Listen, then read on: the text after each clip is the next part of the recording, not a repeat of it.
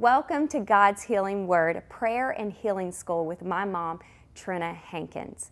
And the Lord put it on her heart to have this prayer and healing school every single week so she can help you and teach you how to pray and also teach you how to receive your healing. There's so many people in need of that right now. They feel desperate, they want to know how to pray, how to get answers, and they also really, really want to receive their healing. So, this is going to be a powerful time. I encourage you to open your heart and let's get ready for the word.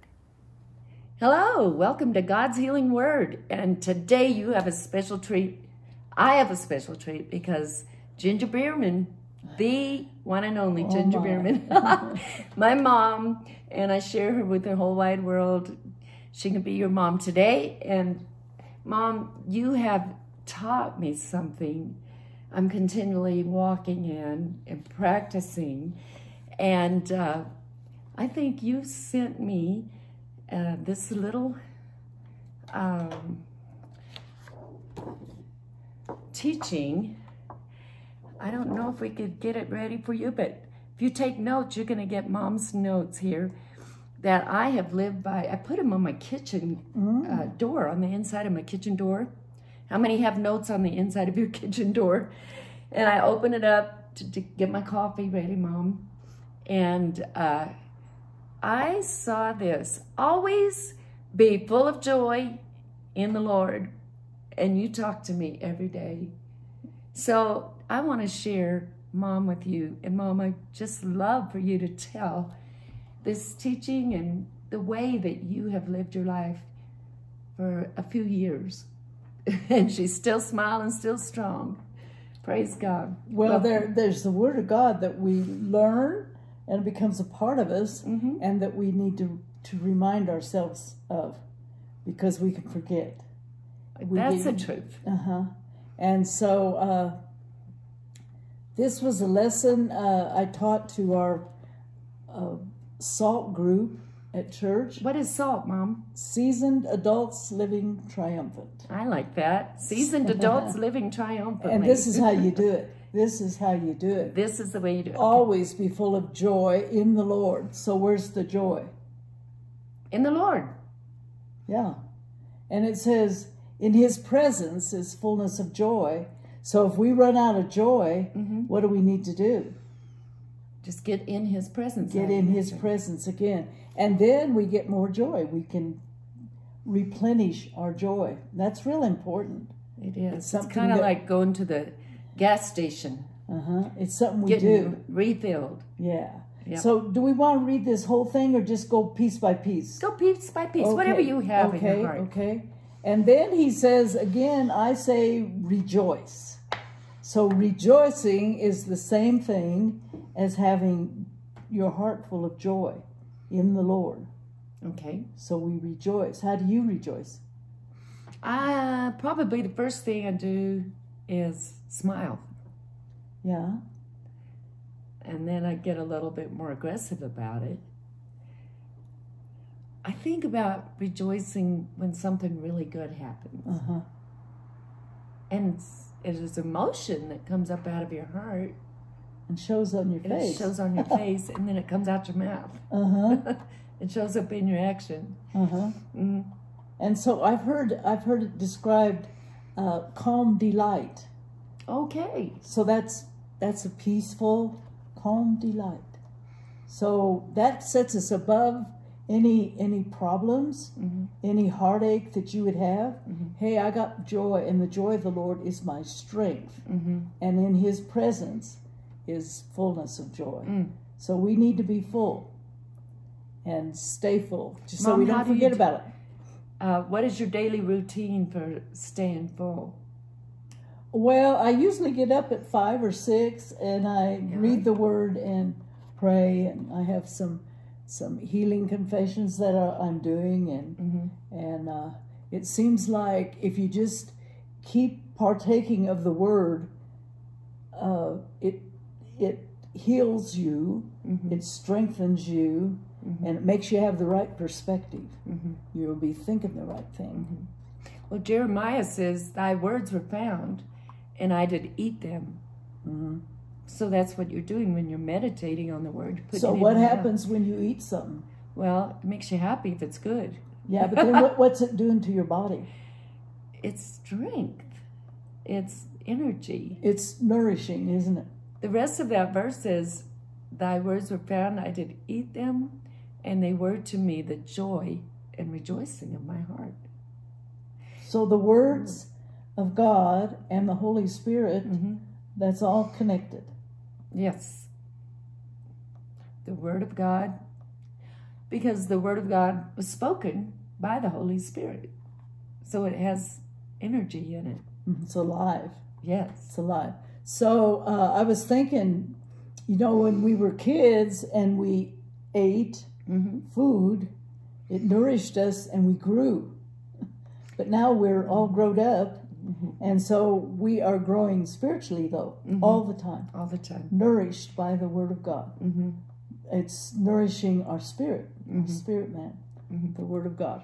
So it says, uh, and I say again, rejoice. So we're going to do that. And this is what he says to do let everyone see that you are unselfish and considerate in all you do. You know, if you look at that a while and Wow. see and and uh, reflect back on how you're treating somebody, Mm-hmm. what you're involved in, and if you're being selfish and considerate of somebody else's feelings, they're li- you know you can just uh, correct yourself and say, "Wow, I didn't realize I was being inconsiderate. I didn't realize that I was being selfish." You know, I think selfishness is one of the root causes for a lot of harm. Yeah. In a family, if, if you're selfish, husband and wife, you're only thinking about your needs, hmm then that causes some trouble. hmm Selfishness is, is very, can be very devilish. hmm And it says, uh, and considered Mm-hmm. in all that you do. Mm-hmm. So thinking about somebody else makes you happy. Mark always says, if you're depressed, you've been thinking about yourself. Oh dear, oh dear. That's a bad so get your mind about. off your own self and think about somebody else. So, right in the midst of this, and this is in Philippians uh, 4 4 through 7. And anyway, so uh, in the middle of the, that scripture, it says, Remember, the Lord is coming soon. Is that important for us to remember? Yes. Why? What does Well- that do for us if we believe the Lord's coming? It makes you be ready. Makes you act right. Uh huh. Makes you think right. Uh huh. Yeah. You clean up your act because you're aware, and we need to be aware Yeah. because He is coming. He Yes. is coming. It's interesting how Paul put that right in the middle of It all is. that. It is. The Lord is coming soon. So be ready. Uh huh. Think about that. That's right. And so right after that, then he says, "Don't worry about anything. Instead, pray about everything."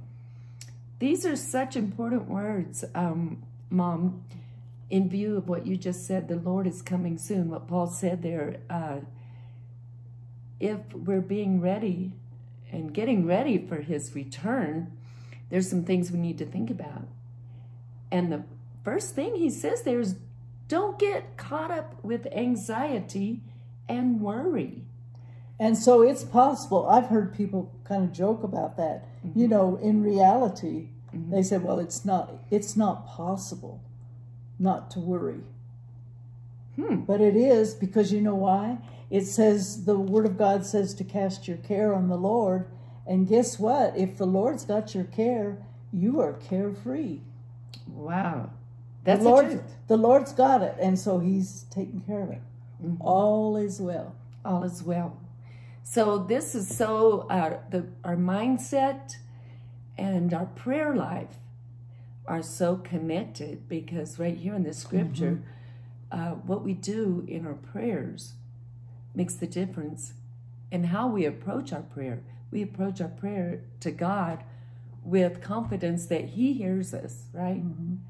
And that brings us to a, uh, a state of mind that's full of joy and expectation and calm settledness, Mm-hmm. right? Mm-hmm. And that gives us strength. Mm-hmm. Yeah, that's good. Okay, and then it says, tell God about your needs and don't forget to thank Him for His answers. And sometimes I think we can do that. You know, we get ready to go on a trip, Yeah. and uh, I remember one time in particular, we were going to the airport, I think in Denver, and we came across that, uh, you know, where they have that the statue of Jesus up on the Yes. mountain. I yes. forget what the name of that is. Yes. Anyway, it's all curvy there, and we were uh, driving. I think it was just beyond that. There was a curve, and we saw that a bear had come across the highway, and he he had just been in front of us. He was coming up out of the bar ditch on the other side, and so that would have been not too good if we'd hit a bear and we could have. And so immediately I said, "Oh, Bill, we just prayed the, for safety for angels that are protecting us. Yeah. They're on assignment, taking care of us, and uh, we just missed a bear. That's extreme. so, so we tell God our needs, Yes. and then we thank Him. Always thank Him. So- Be grateful. Mom, you must have prayed before you left. We did. and you committed that uh, worry. You know, sometimes when I'm driving around these mountains, we're here in Colorado, and just to get out of your house, you're almost 10,000 feet elevation here. So to go into Buena Vista, you have to go down and you go over another pass. You just, my goodness, we're high, and you got to get around a lot of curves, a lot of cliffs and drop offs on either side. People driving Crazy. crazy. So praying before you're going into a situation, God hears and He takes care of things ahead of time. hmm So He took care of that bear. Yes, it was. That's a fact. he got it out of the way before you got there. just before we came around the corner. Wow. And so, you know, uh, talking about asking the Lord for protection, Mm. and there's there's scriptures that tell you that uh, He has sent angels hmm on assignment Mhm. to take care of you, that you will not what stumble. You will You be don't dash your foot against a stone. yeah. hmm He shall give His angels charge over you to keep you in, In all your ways. So I think prayer acknowledges the word that God has given us, promise, hmm even the angelic protection. hmm He gives his angels charge over you. And it's good to say that out loud Mhm. that the Lord is taking care of you. That He's He sent angels. Psalms take care of us. 103 says he that they, the angels, hearken to the voice of the word of God. Mm-hmm. So as you're speaking and declaring God's promises, the angels immediately are on assignment. hmm They're like the wind, they go quick. hmm There they are. That's are. encouraging. And then another thing, as far as being safe, we have the angels on the outside, but then we have have the Holy Spirit hmm on the inside, and He is our He directs our steps. hmm He counsels us. So so we need to just be alert. Yeah. Listen to the Holy Spirit. He'll show you things to come. It says, hmm and uh, so that's a pretty good team working for us. The Holy Spirit and angels. So, Mom, in the mornings when you get up and you're praying and you're going and making these truths fresh in your mind, you're praying about situations, and then the Holy Spirit, like you said, He brings you uh, thoughts and He teaches you things to come. So you can pray ahead of the Yes. situation.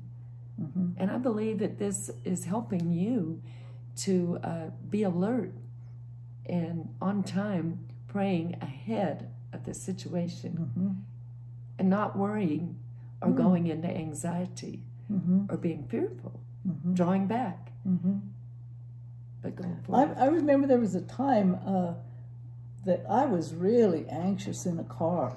hmm I just was really anxious. And it was a, you know, the word says that fear is tormenting, hmm and it tormented me. But I remember the, the very time that I resisted fear. I gave it to the Lord, and I'm totally delivered from fear. Uh, I'm not anxious when we're driving someplace, and uh, I don't have, you know, premonitions of wrecking or anything. I just it's not there. Another thing uh, with as far as being uh, delivered from fear, I don't fear COVID. Now that's a timely word. Well, the Lord is is our healer. He's our shepherd, and uh, and then the ninety first Psalm is just, oh my goodness. We claim it. It's the truth. But it has to be we receive it, and we have to put it into, um, we have to activate it by s- proclaiming it, Right. proclaiming the word. Go ahead. You know, a lot of times people put things on automatic pilot, you know. But, Mom, what you're doing is daily walking in the uh, knowledge of the Word of God and being mindful about the promises of God, taking them. You said you're not a, you're not afraid of COVID, and Mom, No. you are. How old are you? I'm eighty six. 86 and look full of glory full of strength and joy you're amazing you're just beautiful but a lot of uh, people any age are so full of fear fearful to go out of the house fearful about you know because why what are they listening to Mm-hmm. Okay. Go ahead. That's good. Enlarge on it. I was going to enlarge on that. Man, they've been listening to all the, the airwaves, whatever's coming through the internet, Facebook, uh, any kind of te- news, Mm-hmm. television warnings, and all these things. And so, whatever we feast on or we put our mind on, you get full of. And statistics like Yeah. Out of this world, people dying. It's like you, you're going to go outside and see people are laying on the ground or something, you know? Or I can't breathe the air because there might be COVID in the middle of it. But mom, I don't see you wearing masks unless you really have to. Well, unless they require one to go into a store. Uh, that means you're just not afraid. uh, Sue and Scott and Megan, they like to go skiing, so they go to um, Breckenridge and ski. And Megan or Sue was skiing, and out on the mountainside on the ski slope, she had uh, taken her mask off, and she got in trouble for that. People hollered at her out there in the fresh air With nobody around, with nobody around. Uh, that's fear. it's fear. And what that fear does, it controls you. hmm It's a torment. And it's it's um, contagious. It is. Fear is contagious. And so I, I'm just thankful from the Lord that I'm not fearful. You're not fearful. No, because the Lord said He's going to take care of us. So But all is well. all is well. And you always feed on those scriptures. We're talking about eating that God's word, feeding on those scriptures, not just having fed on them, but continually feeding on the truth that Christ has redeemed us from the curse of the law. Mhm. That Psalm 91, He will keep you from deadly plagues. That's what it says. Hallelujah Even make you immune to it. immune to disease. So those that's the word of God, and you're taking that word, and you're not only um, just listening and letting it go in one ear and out the other, but you are delighting in it, hmm and you're And we proclaim it. proclaiming it, We declare it to be true. hmm and we're re- rejoicing over it. Yeah, praise God. Praise so God. Philippians four, it says, "Don't worry about anything," but on the other hand, what do you do? You take whatever comes up, whatever could be a, a care, hmm um, and you give it to the Lord. And you do that through prayer. through prayer.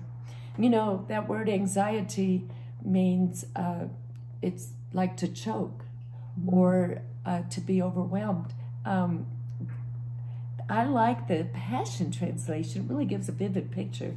It says, Don't be pulled in different directions or worried about a thing. So, um, if you're distracted or, or by, you know, any kind of worry or fretting, it's like you're being pulled in different directions, dismembered, distracted.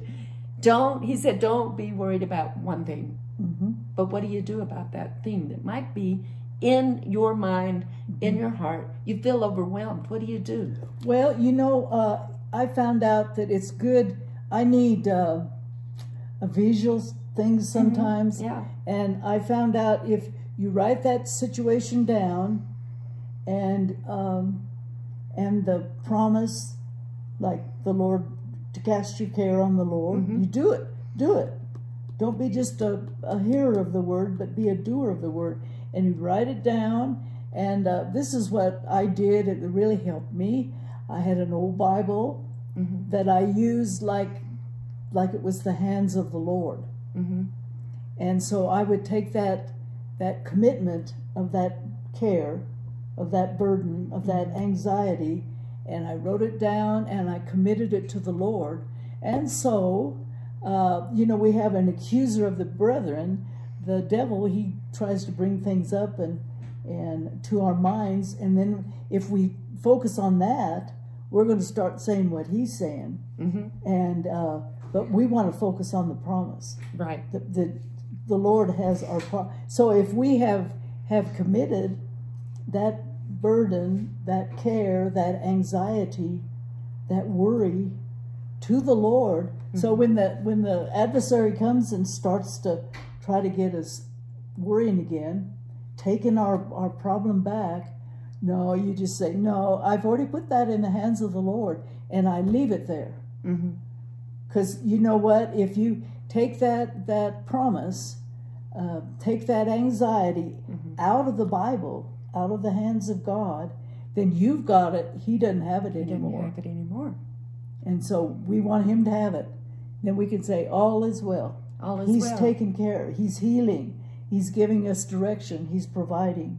He's being our God. It's in God's We've got to let him be our God. So I like that, Mom. How you take, you write down your your request or whatever you're going through, and you commit it to the Lord, and you put it in that Bible. You close the Bible and put It's it on the shelf, and every time you think of it, you think, "Oh, that's in God's hands." That's in God's hands. That helps me. That's a great visual. I like that. me. And I think you've done that with people that maybe have hurt you Mm-hmm. or you've had uh, disagreements with. You Mm-hmm. forgive them, put them in God's hands, and don't worry about it anymore. He'll take care of it. And he and it works. It, It works. works. It really works. It works. So you're doing something with your mind here. You're doing something. hmm It says here in the amplify uh, the uh, passion uh, to offer faith-filled requests before God with overflowing gratitude, with thanksgiving. Talk about that part because that's part of the process. Yeah, when you uh, commit Mm-hmm. a problem, a worry, a stress, you commit it to the Lord and you have the Word of God that backs it up, Mm-hmm. uh, then say that's what you're doing. Thank you, Lord, that you have taken Mm-hmm. this and it's not no longer mine because I've given it to you Mm-hmm. just like you told me to. And that's where it is. So, what you do, you uh, thank God that that's what He's doing, and that's what you're doing, and it's working. It's working. So thankfulness is so key. Um, so many miracles happen in the Bible when people started thinking. Because what is it? You, I like just the the Hebrew word for Thanksgiving. Uh, toda is the uplifted hands, Mm. and so to me that gives you a picture like, okay, Lord, I'm giving you all my needs, all my requests, my problems. But when our hands are lifted up, He takes them and He gives us His perfect peace. Peace. right. And that's what's here in this Right. scripture. Talk about that. Well, you just give him your problems, mm-hmm. your anxieties. Yeah. your frets, and that's that's the what he gives us back is his peace, and it's peace that passes understanding. It says this. Uh, if you do this, Mm-hmm. you will experience God's peace, which is far more wonderful than the human mind can understand. If you do what? Well, if you're always full of joy, Mhm. if you spend time in the presence of the Mhm. Lord, um, because that's where the fullness of the joy is, Mhm. and that's where you live. That's what it says to uh, rejoice in the God of your God, your Savior. So when we need to rejoice, we can rejoice that Jesus is our uh, our Savior, Mhm. that He gives us joy, that we live in His peace, Mhm. that if we need wisdom, it says to ask God, and He'll give you His wisdom Mhm. and His strength, whatever. And so uh, I think that's important to know that His peace. We got to do this, so we do that, and then we let everybody see that we are unselfish and considerate in all that we do. If we let everybody see, we're on display, Wow, that's good. and people do see us Yeah. and they say, "Ooh, that didn't sound right. That's selfish." uh, but you want you can catch it before it gets there. Uh, the Lord can refine your. Yeah. uh You can have a thought here, but the Holy Spirit can intercept that thought Mhm. or the word that's take planted in you. Mhm. And then you, instead of saying that, you say God's word. Right. Or you say Right. something kind or good. Okay, so it's saying if you do the, these things, and so what we, we remember that the Lord is coming soon. Mm. It says those that you know trust and believe that Jesus is coming soon will purify themselves, Yes. Even as He is pure. Mhm. We don't want Him coming when we're in the middle of a fit or something. Ooh, no. no, we don't. Do we? no. Okay, then another thing is we don't worry about anything hmm and we pray about everything. hmm We tell God about our needs and we are not forgetful to thank Him. hmm If we do all those things, guess what? You will experience God's peace, which is far more wonderful than the human mind can comprehend.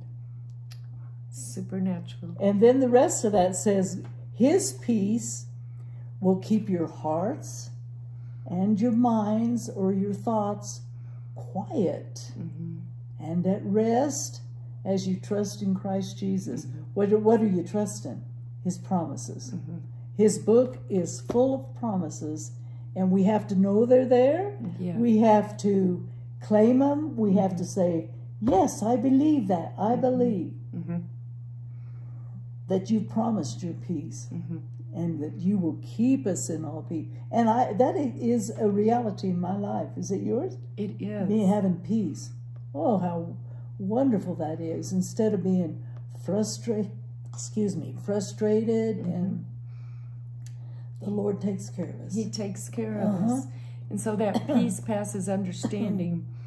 And uh, a lot of times when we receive his peace, he'll give us a song or he'll give us a thought. right. And we can fix our mind on that. And I like that next verse. It says, Fasten your thoughts on every glorious work of God, praising Him always. The, the uh, Pas- Passion says, Put into practice the example of all that you heard from me. And he says, um, What are we supposed to set our thoughts upon? Everything good? Mm-hmm. Mm-hmm. Think on these things. Mm-hmm. Whatsoever things are true, whatsoever things are honest, whatsoever things are just, whatsoever things are of good report, Mm-hmm. whatsoever things are lovely, whatsoever things are pure, if there be any virtue Mhm. or praise, think on or meditate on Mm-hmm. these things so we can fix. I like that word fix. If something's fixed, it's unmovable. Mm-hmm. It is steadfast. Fix our minds on Him. Mm-hmm. And then that peace preserves not only us, but wherever you go, like you said, other people can see that Mm-hmm. on your face. And then they'll wonder, what's going on with you? Why are you not all worried? Why are you happy? Mm-hmm. You know, and then you go back, Jesus is coming soon. Yeah. and I'm not worried about a thing. No, And that gives us an opportunity to pray for others. that's good. Opens the door. That's good. Always be full of joy. Because Uh, yeah, joyful thoughts, and and what that means is that God has the answer, mm-hmm. and we're going to let Him be God. Mm-hmm. We're going to trust Him, mm-hmm. and this is what's going to happen.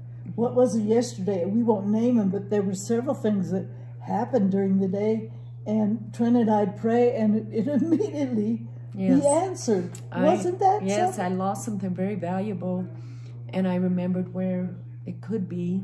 Didn't know, and I was just like tempted to go into hysteria.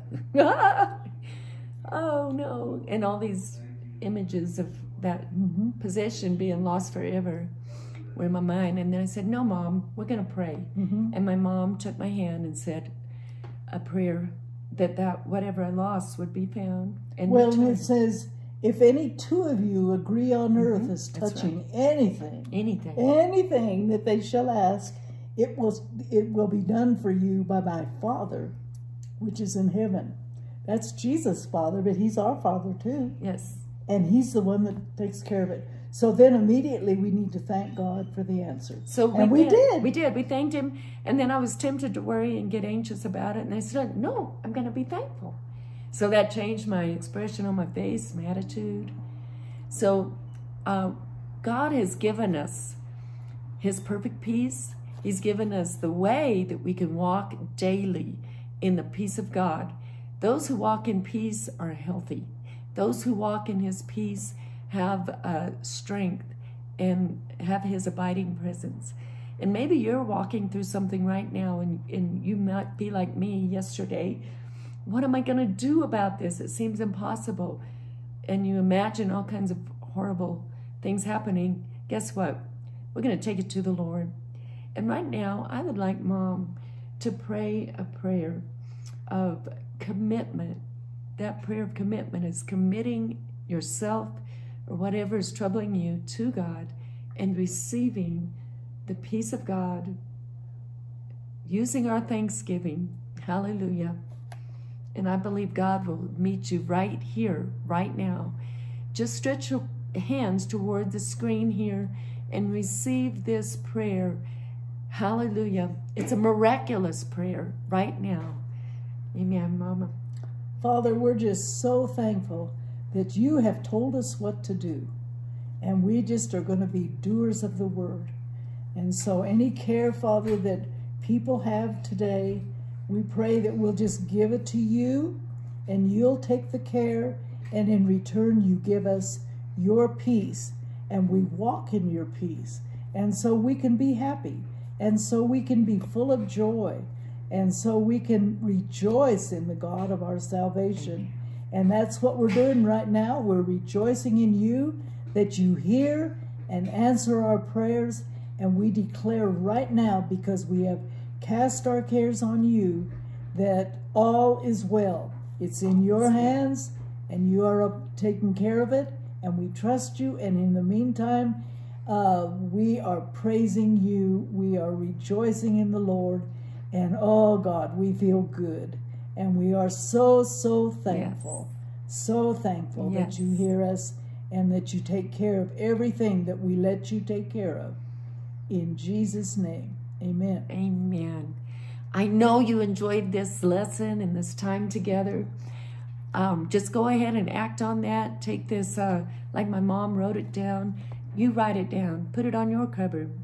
Practice this about everything. And I believe that the peace of God is governing your life. That's a good word. Governing. governing your life. Amen. That's good. Directing your steps and causing blessing to go before you, behind you, and not only on you, but your children, your grandchildren, right. your co-workers, wherever you go, you're going to emanate the very peace of God that right. passes understanding. Right. It's supernatural. Thank you for joining Mom and me. Praise God. God bless you. Bless you. Keep you. Shine his face on you. And give you peace. And don't forget to look up because Jesus is coming. That's what the word of God says. And we believe it. Yes, we do. Yes. Bye bye. Well, I hope you enjoyed that teaching on prayer and healing. You know, my mom taught me how to pray. and she taught me her whole life. But she not only taught me by her words, but she taught me by her actions. I watched her pray. I watched her spend time with the Lord. I watched her receive her healing and fight for her life. She taught me by example, and I'm so thankful for that. Her book, God's Healing Word, is a must. If you do not have this yet, you need to get this book. She's teaching right out of this book, and she also shares her own personal testimony of being healed from an inoperable brain tumor where she wasn't supposed to make it. And if she did, she wasn't supposed to ever be normal again. But because of the power of the Word of God and learning and knowing how to activate her faith and stand on the promises of God, she is here today to tell the story and to testify to you and to help you also receive your healing. So go get this book. It is so, so good. It's going to help you. Also, Prayer and Healing School will air every single Thursday at 8 p.m. Central Time and every Saturday, 10 a.m. Central Time. It'll be on Facebook as well as YouTube. Don't worry if you missed it you can go back and watch it again. And if you already watched it, I think you should keep watching it over and over because that word is getting on the inside of you and your faith will grow and increase.